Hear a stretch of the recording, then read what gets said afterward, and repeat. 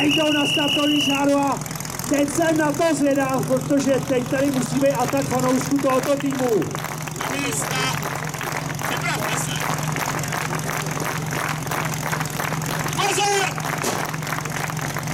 A je rozběhne do toho lešnice, se na nás zautočí další věta, stroj!